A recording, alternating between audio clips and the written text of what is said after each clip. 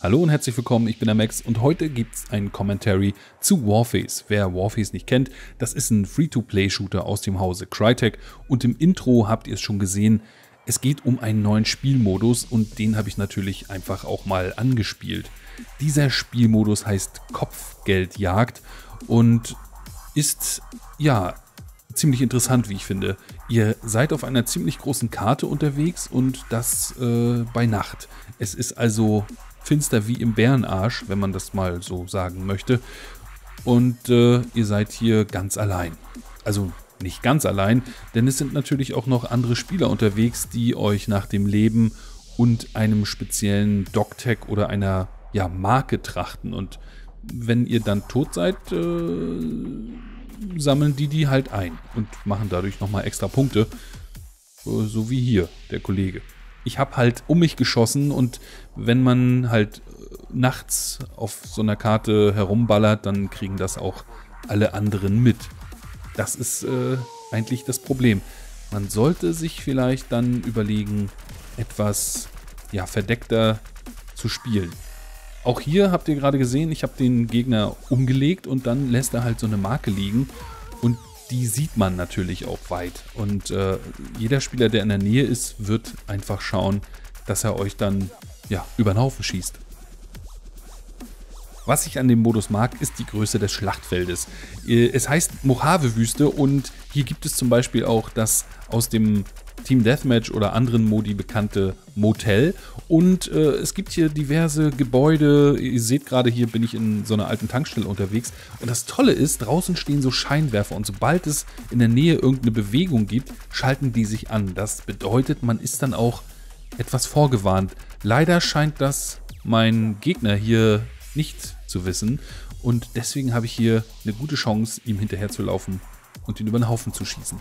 Natürlich, meine Schüsse fallen dann auch den Gegnern auf. Das bedeutet, man muss dann halt schnellstmöglich die Position wechseln. Deine Position ist übrigens auch nicht sicher, wenn dieser Hubschrauber in deiner Nähe ist, denn sobald du wirklich in den Kegel des Scheinwerfers gerätst, bist du auf der Karte für alle Spieler sichtbar. Ihr seht es hier auch oben links auf der Minimap sind Gegner angezeigt. Ich habe das noch nicht so ganz realisiert, deswegen ähm, ja, hat es mich dann auch gleich hingerafft, denn der Kollege hat's gesehen. Ja, und dann habe ich gemerkt, es wird unglaublich viel mit Scharfschützengewehren geschossen und vielleicht sollte ich mir so ein Ding auch zulegen, denn da muss ich nicht das ganze Magazin verballern, sondern vielleicht bloß ein oder zwei Schüsse gezielt setzen, um den Gegner auszuschalten und bin dann vielleicht nicht so auffällig unterwegs. Ja, das Tolle ist, dass man in Warface ähnlich wie in Crisis damals einfach seine Waffen direkt im Spiel anpassen kann. Also während du unterwegs bist, kannst du halt immer noch mal ein anderes Tiefenrohr drauf montieren. Natürlich könnte man den Modus jetzt auch einfach umbenennen in Sniper War oder so, weil es ist definitiv so, dass die meisten Spieler hier mit Scharfschützengewehren unterwegs sind. Dennoch bietet der Modus dann äh, auch für mich einfach mal die Gelegenheit, Scharfschützengewehre in Warface zu benutzen. Und es ist auch schön, wenn man dann einfach mal so durchs Zielfernrohr schaut und einen Gegner direkt vor Augen hat. Ganz besonders mag ich aber die Stimmung auf diesem Schlachtfeld, also die gesamte Atmosphäre, nachts hier herumzulaufen. Es gibt halt nur gewisse Lichtquellen, die man leider nicht ausschalten kann. Das wäre vielleicht nochmal eine Sache, äh, die fände ich ziemlich cool, wenn man eben auch das Licht auf der Karte noch begrenzen könnte und so vielleicht etwas sicherer unterwegs ist. Aber dennoch ist es einfach eine sehr beklemmende Stimmung und eine ziemlich krasse Atmosphäre und ich weiß nicht, ob man es so ausdrücken kann, aber irgendwie hat man einen gewissen Adrenalinschub, wenn man diesen Modus spielt. Man hat halt wirklich schon so ein bisschen Bammel, äh, hier unterwegs zu sein, weil man eben jederzeit ausgeschaltet werden kann. Ich denke, ihr solltet euch den Modus mal anschauen. Vielleicht macht es euch Spaß und ich hoffe natürlich, dass seitens Crytek da auch noch mehr Karten dazu kommen. Es wäre auf alle Fälle eine ziemlich coole Sache. Im Grunde muss man sagen, bin ich der Meinung, dass Crytek wohl mittlerweile das Potenzial dieses Free-to-Play-Shooters entdeckt hat und deswegen einfach eine andere Strategie da fährt. Und das finde ich auch gut, denn es gibt einfach viele neue Spielmodi, es gibt ständig neue Karten, es gibt halt ständig neuen Content in diesem Spiel und damit hält man einfach die Spieler bei der Stange oder kriegt sogar einfach neue Spieler dazu. Auch jetzt im europäischen Markt oder auf dem europäischen Markt. Denn ich sag mal, Warface war lange Zeit so eine, so eine Art Russen-Free-to-Play.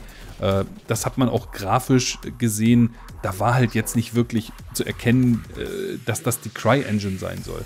Und mittlerweile hat sich da halt viel getan. Es gibt halt neue Multiplayer-Karten, die optisch einfach auch viel besser aussehen. Ich hatte das ja auch schon mal angesprochen. Also hier passiert ganz viel und es gibt halt eben viel neuen Content und das finde ich einfach total klasse bei einem Shooter, der eben nichts kostet. Und da bin ich dann auch gerne bereit, vielleicht ein paar Euro mal in die Hand zu nehmen, um hier das Spiel zu honorieren, vielleicht einfach eine Ausrüstung zu kaufen oder eine Waffe, die mir gefällt. Äh, und das ist auch völlig in Ordnung, wenn man eben viel Zeit und viel Freizeit mit so einem Spiel verbringt und daher dann auch einen Unterhaltungswert hat, dann kann man da ruhig mal ein paar Euro für ausgeben. Ich finde das nicht verwerflich. Ähm, zumal eben ja auch Leute in den Studios viel Arbeit, Zeit und Herzblut in die ganzen Inhalte reinstecken.